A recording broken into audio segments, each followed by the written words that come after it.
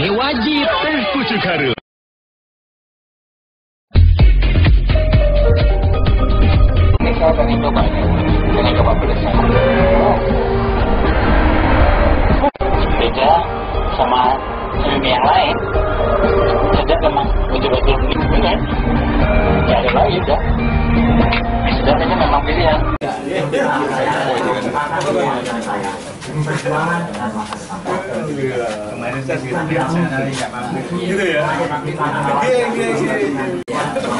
Mas, kami masih di? Oh, sudah? Sebelum kita memulai acara ini, marilah kita senantiasa memanjatkan puja dan puji syukur kita ke atas, atas kehadirat Allah Subhanahu wa taala. Karena dengan nikmat yang diberikan oleh Allah Subhanahu wa taala sehingga kita bisa hadir dan berkumpul di sini Selawat beserta salam tak lupa kita haturkan kepada suri toleran kita Baginda Muhammad Sallallahu Alaihi Wasallam. Cara kita untuk mengingat sejarah di mana pengkhianatan-pengkhianatan daripada partai komunis ini sangat kejam, saudara-saudara. Sejak lama terjadi, namun setiap maka dari itulah kemudian kita di sini Dahil ada Ustaz Yunus, ada Pak Ruka yang kemudian akan menyampaikan perspektif-perspektif itu. Anggota PKI. Bahkan mengatakan bahwa saya bangga menjadi anak PKI. Maka saya khawatir dengan pernyataan-pernyataan semacam ini, indikasi-indikasi semacam ini, bahwa ada upaya dari keturunan-keturunan PKI ini untuk membalas dendam terhadap kelompok Islam dan kelompok nasionalis kawan-kawan. Sebagai bangsa Indonesia. Jadi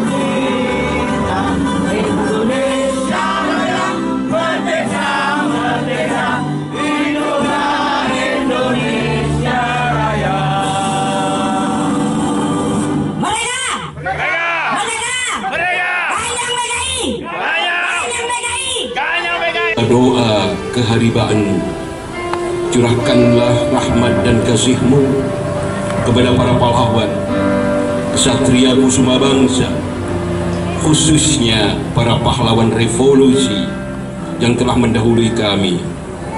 Sesuai dengan janjimu ya Allah ya ilahan alamin lipat gandakanlah pahala atas pengabdian dan pengorbanan pemimpin kami kearifan dalam berpikir kecermatan dalam berpihak dalam berpihak kecermatan dalam bertindak serta kejujuran dalam agar setiap urusan kami membuahkan hasil yang bermanfaat bagi bangsa dan negara kami. Limpahkanlah karunia-Mu ya Allah baik yang datang dari langit maupun dari bumi mantapkanlah tekad kami untuk membangun negara dan tina fid dunya hasanah wa fil akhirati hasanah wa qina adzabannar subhana rabbika rabbil izzati amma yasifun. Wa salamun alal mursalin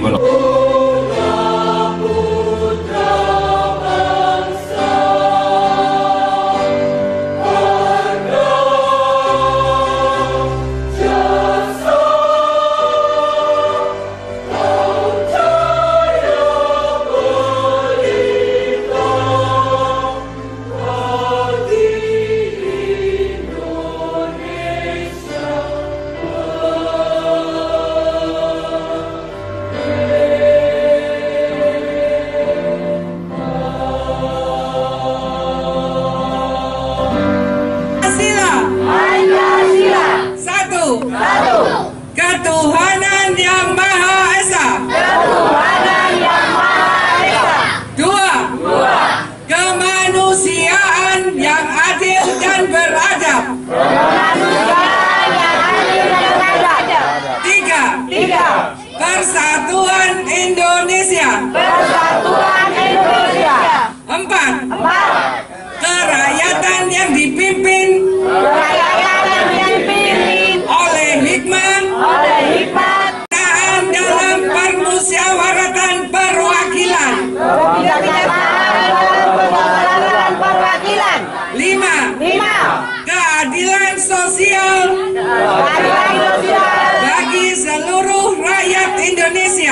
bagi seluruh rakyat Indonesia.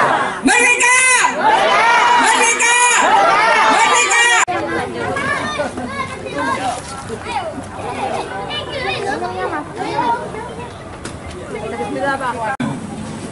Uh, ini acara spontanitas.